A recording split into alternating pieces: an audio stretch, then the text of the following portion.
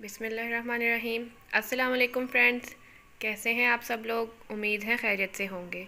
आज जो मैं रेसिपी लेकर आई हूँ, वो है chicken corn and vegetable soup मेरे स्टाइल में, क्योंकि मैंने इन दोनों का कॉम्बिनेशन किया है। बहुत ही मज़ेदार बनता है।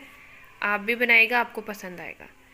चलें, सबसे पहले तो जो मेरे चैनल पर नए हैं, वो जल्दी से लाइक सब्सक्राइब और बेल का बटन दबा दें।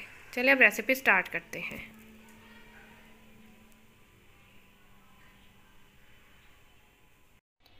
ये देखिए मैंने इसके अंदर बोनलेस चिकन डाल दिया अब मैं इसे बॉयल होने रख दूँगी। हमारा चिकन बॉयल हो चुका है। अब हम उसके अंदर ये वेजिटेबल्स डालेंगे। बंद गोभी है। एक कप कॉर्न है। ये मैंने टिन लिया था। हाफ़ टिन मैंने इस तरह क्रश कर लिया और हाफ़ ऐसे ही डाल देंगे।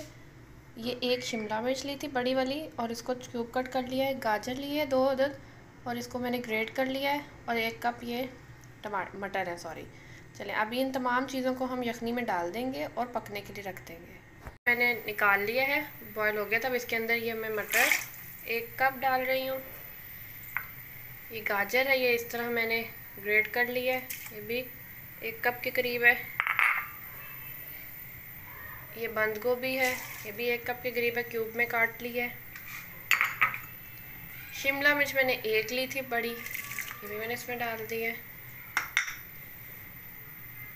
और ये कौन से, इसको मैंने क्रश किया हुआ है। ये देखें, ये मैंने क्रश किया हुआ है, ये हाफ़ कप के बराबर है, ये भी इसमें डाल दें।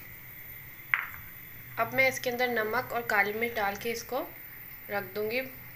पच्चीस से बीस मिनट के लिए कि अच्छी तरह से ये सब्ज़ियाँ गल जाए, नरम हो जाए।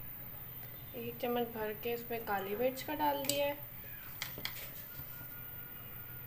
और एक चम्मच इसमें पहले हम कम रखेंगे, डेढ़ चम्मच इसमें हमने नमक का डाला है।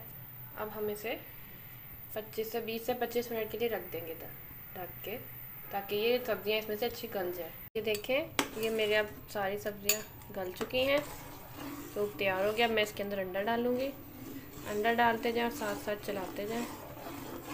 एक एक करके डालिएगा, मैंने दो अंडे लिए हैं एक एक करके, ताकि जो ख़राब हो तो पता चल जाए।